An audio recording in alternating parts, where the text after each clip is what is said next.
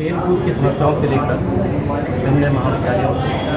छात्र छात्राएँ आए थे और उनकी समस्याएँ नाम जाना चाहते हैं और उससे संबंधित उनकी खेल से संबंधित और अचानक उग्र हो गए साहब के हैं करने लगे। हमारे कर्मचारी संघ के अध्यक्ष अखिलेश चौधरी जी को बहुत गंभीर चोट आई है कुछ सचिव को भी चोट आई हम लोगों को भी हमारे साथ भी मारपीट की गई अन्य कई कर्मचारियों के साथ सर ये देखा गया है जो सुरक्षा में कर्मचारी हो वो आए दिन छात्रों के संग जिस तरह से व्यवहार करते हैं कहीं ना कहीं वो स्थितियाँ जो है वो मारपीट वाली पैदा होती हैं। आज सुबह भी ऐसी घटना हुई बाउंस हमारे यहाँ छात्र उग्र होते हैं।